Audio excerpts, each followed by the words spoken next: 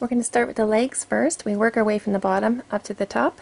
And I already have one leg sewn on. You can see when I stand it up, the leg falls down freely. And when I sit it down, it sits down easily. And you can see I've sewn the entire flap to the body. If you've added eyes, make sure that you're well centered and the leg should be sitting in a V like so. I'm going to hold mine in place, but if you have pins, pins are very helpful. You can pin it and then check and make sure that it's positioned right. So this edge first, straight across, and I'm just whip stitching right to the body. You can see I just went in, grabbed around that row there,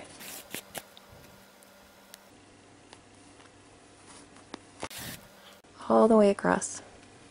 And keep your stitches side by side. Alright, I've made it across, so now I'm going to go back across over and I'm going to go through the second row of that flap now. So make sure you get a stitch at the very edge. And then just go in and come up. And I'm going to go back over one, one stitch. Go in and back up.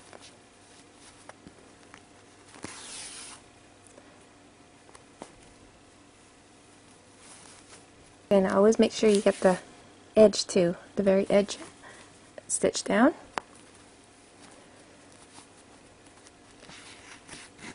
And I'll put two in there, and I'll knot it off on the second one. So before pulling that all the way through, go through that loop and pull tight.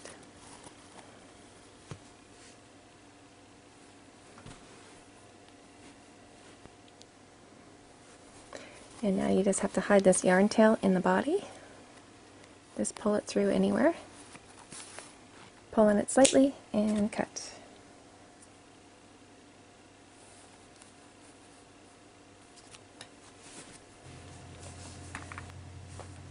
Next we're going to sew the arms on. You can see I've already got one on. Pretty simple to do. And these ones get placed about three rows underneath the neck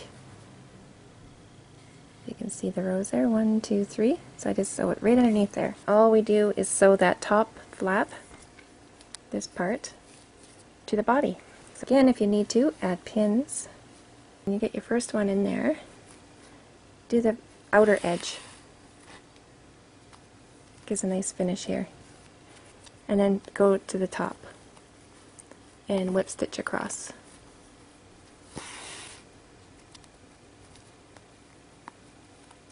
And don't miss any stitches. I missed one there. You want to get every single stitch across. Give a nice clean finish, a nice look to the finish. And once you reach the other side, get just underneath this top row here, just that edge down. I'll do that one more time. That's knotted off. Now I'll just hide this yarn tail in the body. Pull in it slightly and cut.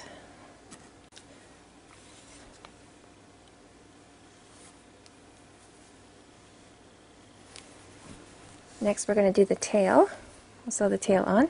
So put the tail on uh, where I show you, on or about the same row that I show you. Um, it helps with the, the shorts, helps hold the shorts up, and when it sits down, you don't want it too low or too high. So in the pattern I say put the tail on, sew the tail on the side, and the top uh, edge should be on or about row 55. You can count. I've already counted mine. That's on about right about there. Just make sure that it's centered. And we're going to whip stitch again this edge to the body.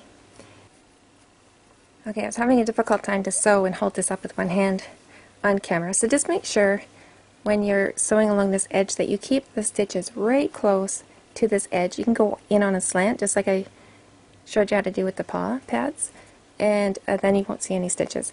And then make sure you get this side here, and then this side here, and then knot it off and hide the yarn tail in the body, just like I showed you how to do with the legs and the arms.